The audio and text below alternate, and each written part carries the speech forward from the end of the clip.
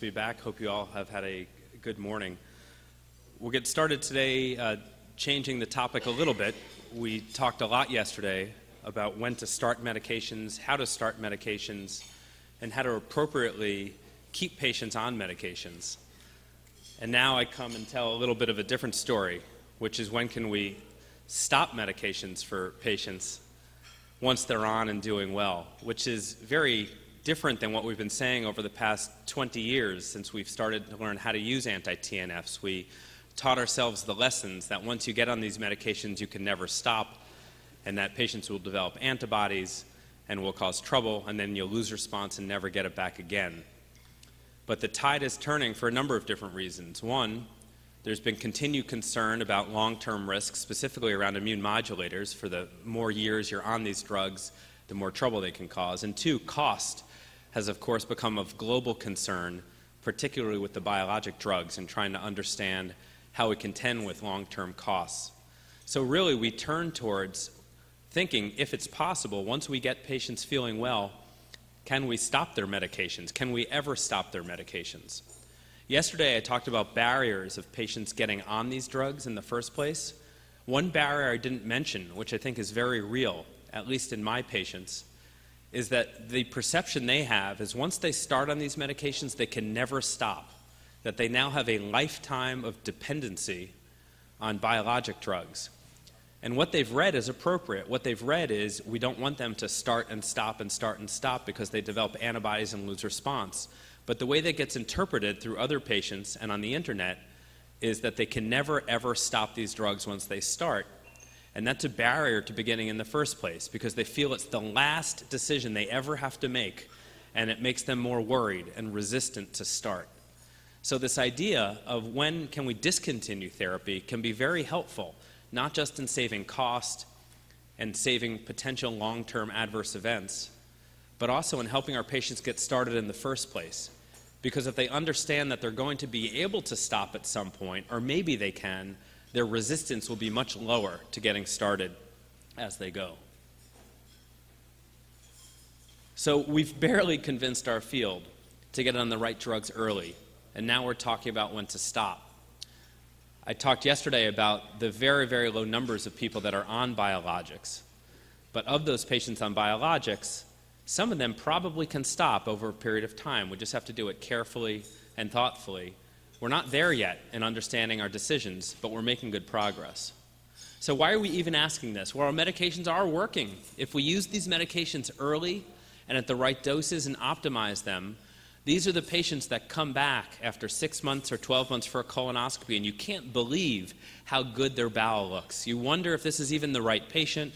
You start questioning if they even had Crohn's disease or ulcerative colitis in the first place because our medications are doing so well and leading to complete mucosal and even histologic healing.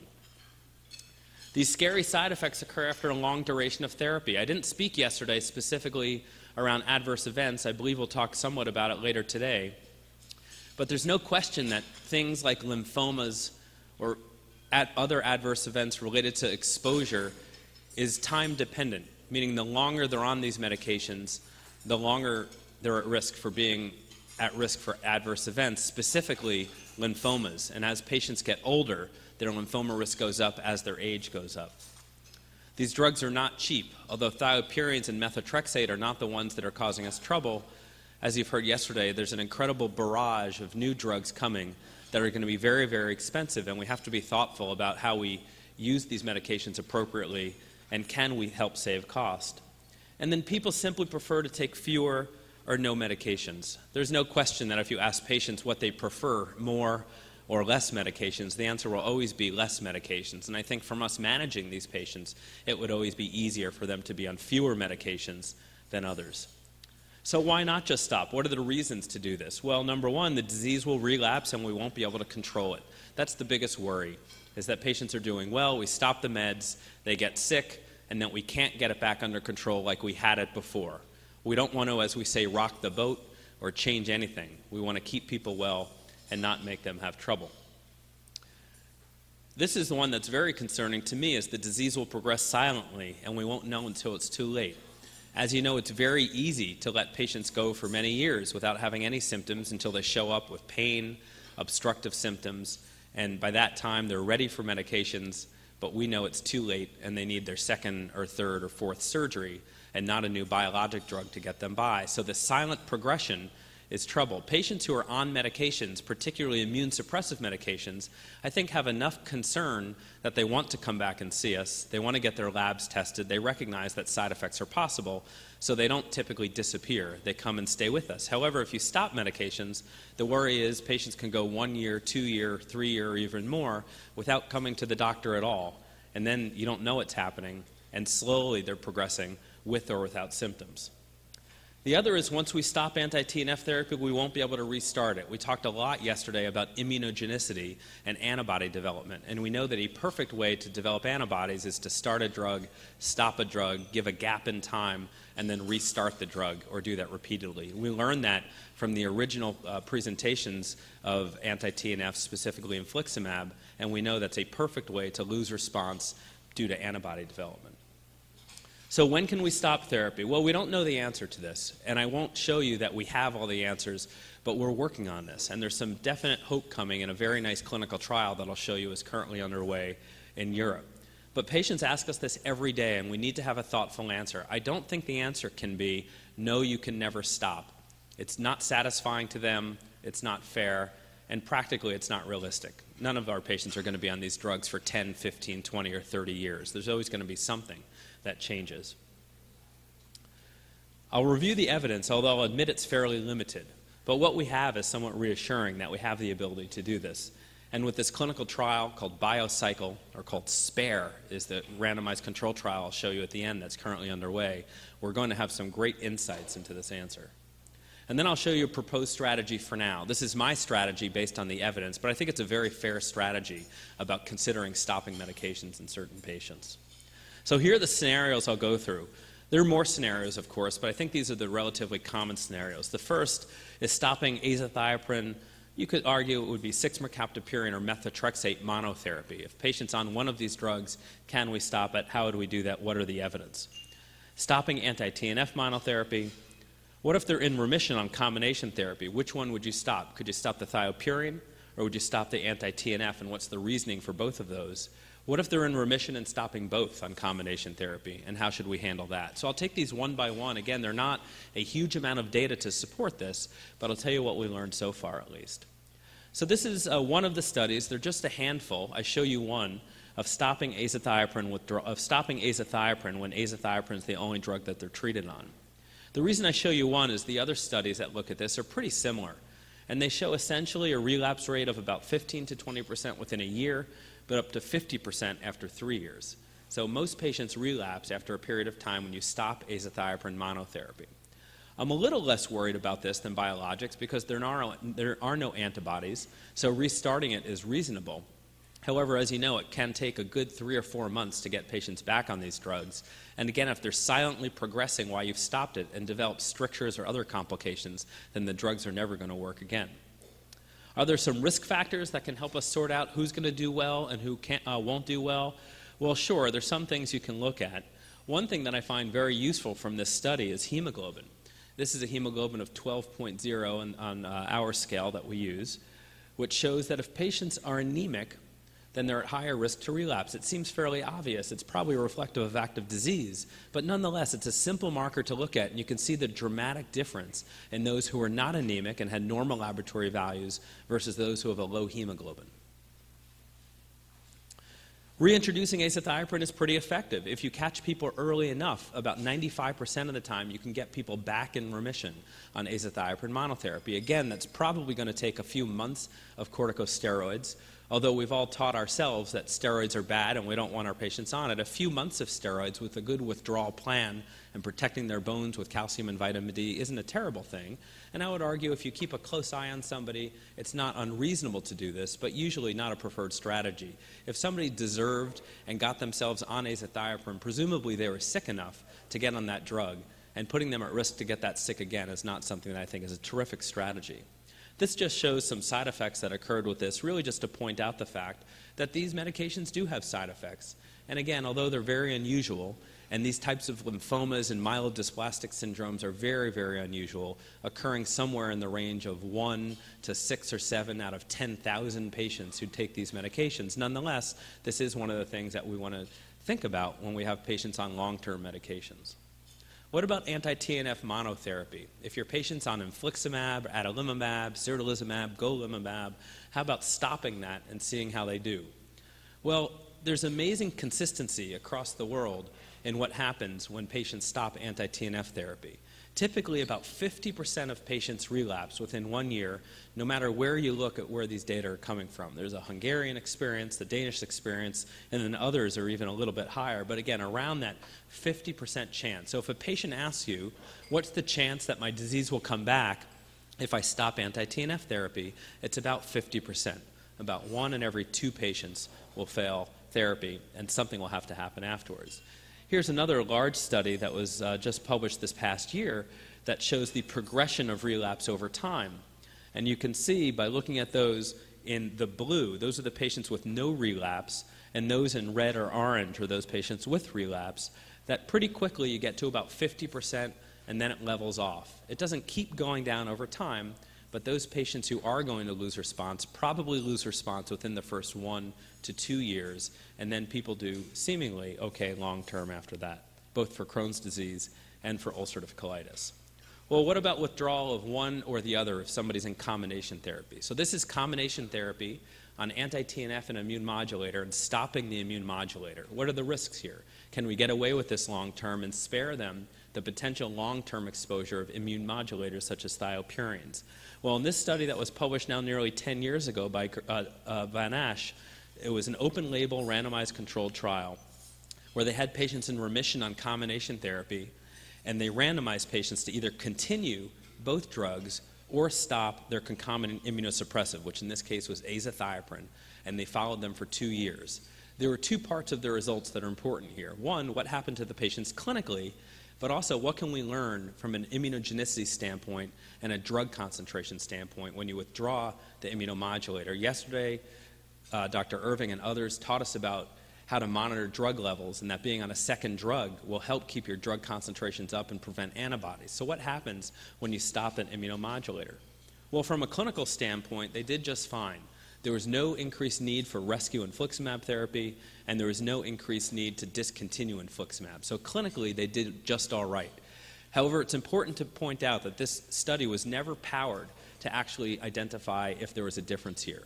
So this is a very underpowered study, which is its major flaw. But at least in the short term, we saw there was no big difference. What we did learn from this, however, is that from a biochemical standpoint, the patients who had stopped their immunomodulator CRP went up, which was statistically significant, and their infliximab trough levels went down. And why did their infliximab trough levels go down? Well, they developed antibodies that prevented those infliximab trough concentrations from staying up as they were competing for the drug. So there's some real biochemical differences that we see with withdrawal that makes us think that over a long period of time we're not going to get away with that. I will say, though, that was in a time before we were adjusting drug levels and, and looking at trough concentrations proactively. I think it's very possible that we can counter that by stopping an immunomodulator checking their trough levels, making sure they keep them in a nice, healthy level, say somewhere above 5 or better yet above 10, based on the assays that we use, and keep people on anti TNF monotherapy successful.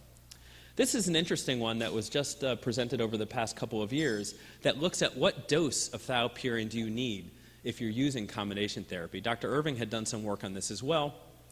And what this shows is interestingly, your thiopurine your thiopurine drug levels can probably be a bit lower than what we typically aim for. If our goals are somewhere around 230 or higher, you can see here that patients kept antibodies away and infliximab trough levels high if their level was above 125. That's about half the level of that we need to see when we're using it as a treatment dose.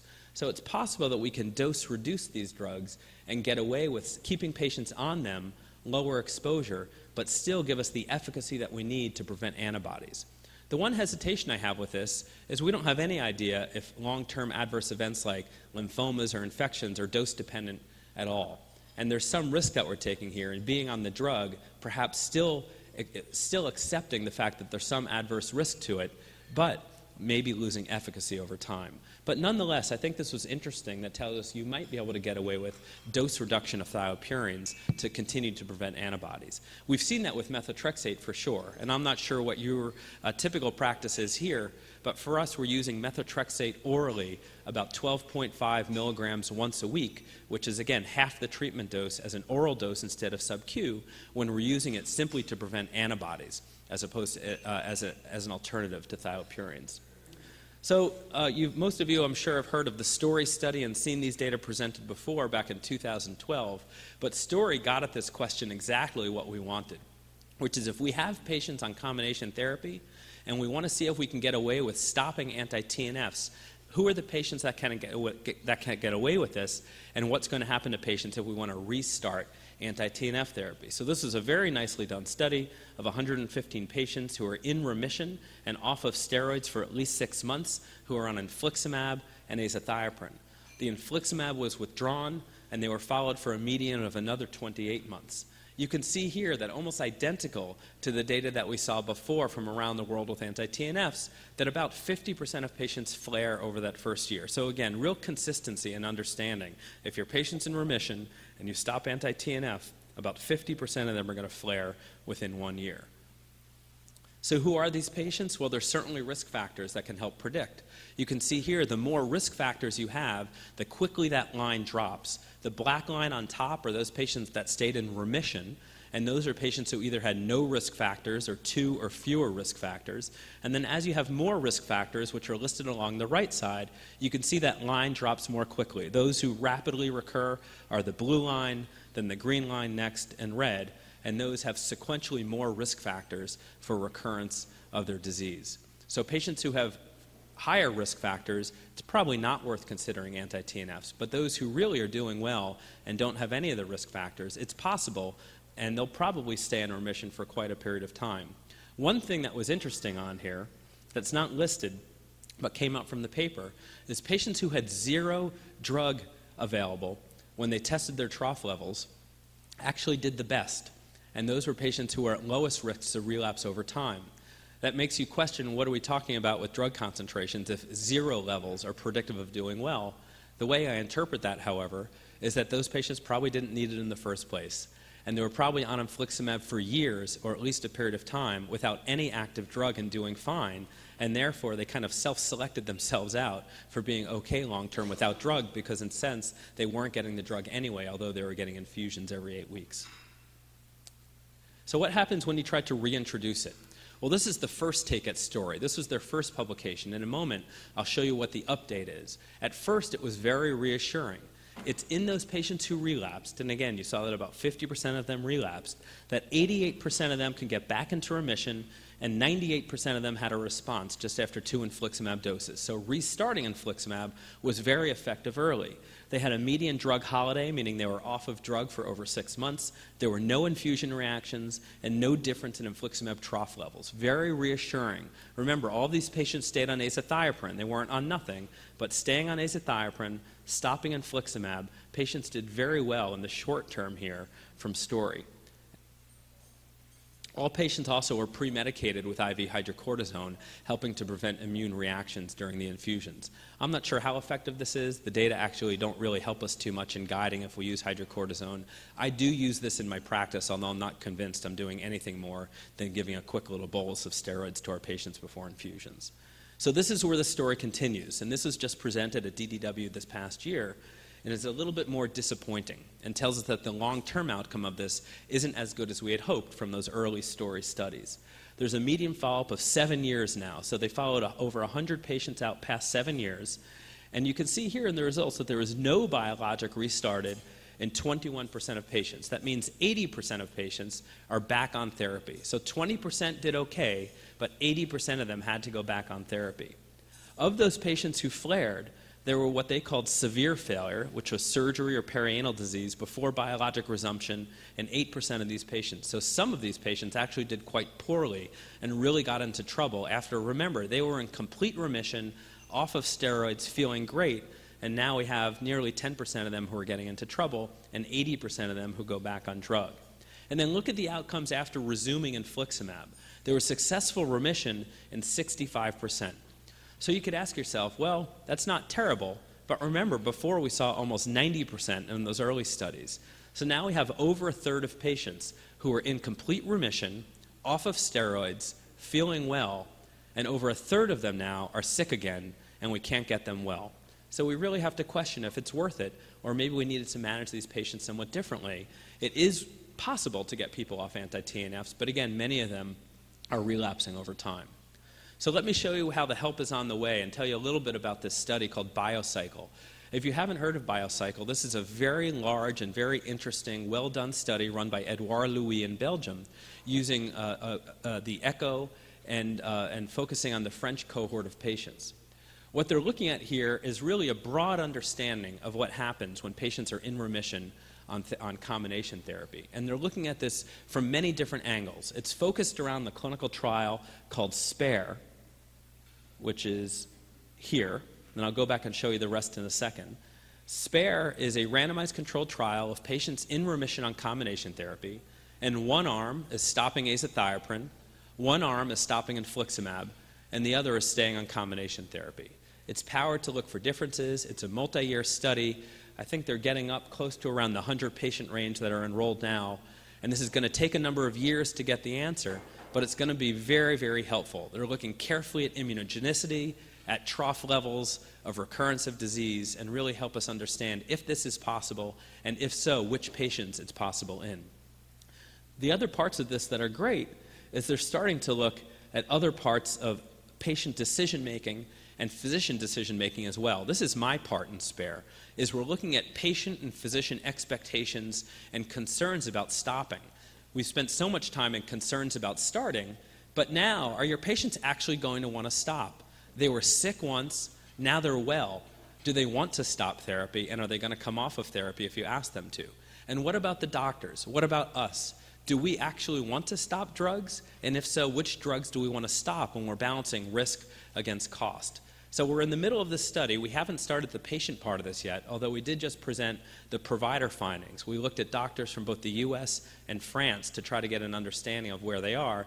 Um, actually, I'm sorry, it was beyond just France, all through uh, the ECCO uh, group that were surveyed here. And you can see some interesting differences in how doctors from the US and, uh, and those from Europe answered.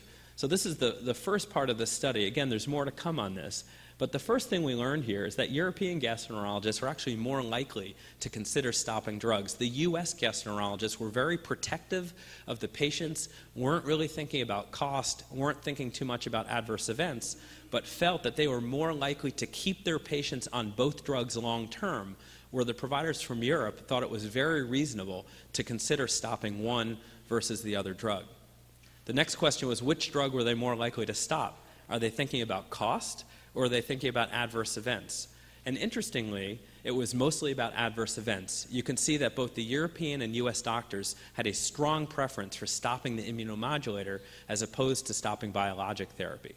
So, although we saw in the story trial, maybe short term we can get away with this, maybe long term there are a subgroup of patients that we can get away with this, but in general, most people wanted to stop immunomodulators. I think we're going to have to wait and see what the SPARE study shows, but for now, I think this is a reasonable strategy to take. Let me show you what I do with patients, and, which I think is a, an approach that makes a lot of sense now logically, although I'll be the first to admit that we need more information as it comes out. So let's take this first scenario here. In remission on mono or combination therapy, first of all, why are you stopping? Are you worried about an adverse event that may have occurred or will occur in the future? Are you thinking about cost? Is it fear of side effects? Is it your fear of side effects or is it your patient's fear of side effects? So when somebody comes in and says, I'm thinking about stopping, ask them why. It might purely be a cost problem that you can fix. It might be a risk problem that really is being overrepresented in their heads, and they might have forgotten how sick they were when they first got on the medications. But this is the first question to ask is why is this question even coming up now? And then how long have they been on therapy? This isn't something you consider after three or four months. This is something that you consider after six months, one year, or maybe many years on combination therapy. But not once they get in remission. The minute they get off of steroids, that's not the time to even start considering stopping therapy. And then you really need to be sure they're in remission. This isn't asking the patient how they feel, but this is looking for endoscopic, histologic, uh, and, and biochemical evidence that they're actually in remission when you're stopping therapy. So here are the scenarios that I proposed early. There's stopping azathioprine monotherapy, stopping anti-TNF monotherapy, and then if you're in combination, stopping one or the other or both. I would tell you that I discount these first two. I think that somebody who's on anti-TNF monotherapy and stopping it is not the right, is not the right idea. There's a very high risk they're going to relapse. Without being on an immunomodulator, you're probably not going to be able to restart that drug, and I think it's not a reasonable approach. If somebody's in combination therapy, I don't think stopping both drugs is a good option either. So let's look at the others and how you might manage that. If you're stopping azathioprine monotherapy, I think this is reasonable. I think with close follow up with endoscopy and imaging, 6 to 12 months later, and then every one to two years. So see how they're doing after you stop it. Even if they feel well, they need an endoscopy. You need to understand if their disease is returning or progressing any further. And then regularly, I follow them with the CRP or fecal calprotectin to understand if their disease is starting to sneak in despite the fact that they feel well. What if you're in remission on combination therapy and you want to stop the thiopurine or methotrexate? Well, you need to do everything we said above. They need close follow up, but in addition to that, you need to optimize their anti TNF dosing. These are the patients where I try to get their trough levels above 10. I want their trough levels either for infliximab or adalimumab to be as high as I can to prevent antibodies from forming when they're not on a second drug. Well, what about if you're stopping anti TNFs? This part makes me a little bit nervous with the data that we saw from the long term follow up from Story. However, it's reasonable, but in that case, you need to figure out if you can figure out thiopurine dosing. I think that might be hard here, and that might make things a little bit more difficult. But if you can leave somebody azathioprine monotherapy, trying to get their drug concentrations really into a nice range above 250, 300, and following them progressively again with endoscopy and imaging is a reasonable thing to do. So, in summary, we do need more data, although I think we're making progress on this question. This is a real question that we're going to have to ask ourselves over time, a lot having to do with cost. There's a real risk of relapse and immunogenicity, but you can consider de escalation in carefully selected patients if you watch them carefully. We have to do it for the right reasons. Make sure, please ask your patient why they're bringing that up, or ask yourself why you're bringing that up, so that we're making decisions in the right patients who are actually in remission. And stopping a drug may mean less intensive therapy, but it really should go along with more intensive monitoring. I tell my patients who want to de escalate therapy that that's okay, but they have to understand that they're coming in in six months for an endoscopy and probably annually for an endoscopy if I'm worried about them. But many patients like that trade off, and they happily come in to make sure their disease isn't coming back. So, with that, I tell you that my default is continuing therapy unless I'm pushed to stop it. But if we want to stop it, we're gathering some more data to make sure that it's safe. Again, thank you for being here. Uh, thank you for having me. And it's wonderful to have the opportunity to talk with you.